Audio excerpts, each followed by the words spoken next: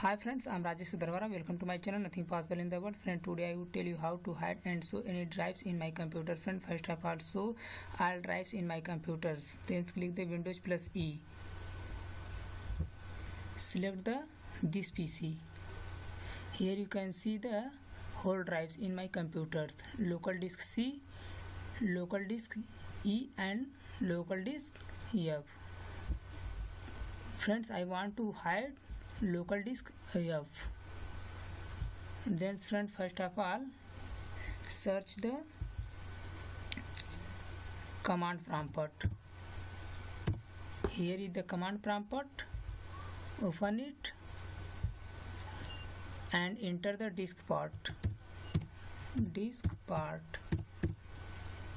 Enter. Select the yes option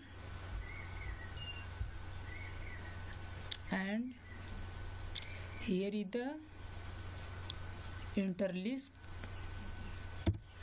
list volume list volume enter here you can see whole drives in my computers. Volume 1 volume 2 volume 3 volume 4 I want to hide this drives at this volume then select the select select volume volume 4 enter here is volume 4 is the selected volume and finally enter the remove remove space letter letter up sorry letter up enter diskpart successfully removed the drive letter R mount point. And again click the Windows plus E and select the this PC here you can see only two drives local disk C and local disk E. I want to show again F drives. Similarly go to the web search and enter the command. Command prompt open it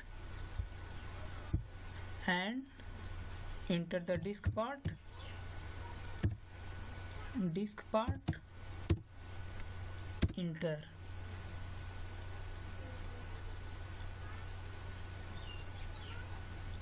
sorry. Diskpart. Disk. Disk part. And yes option. And here is the interlist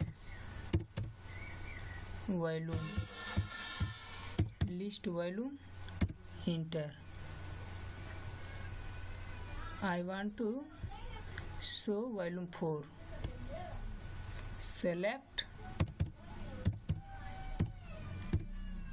Select. Volume. Volume 4 enter and assign. Assign. Assign. Letter EF enter disk part successfully here you can see the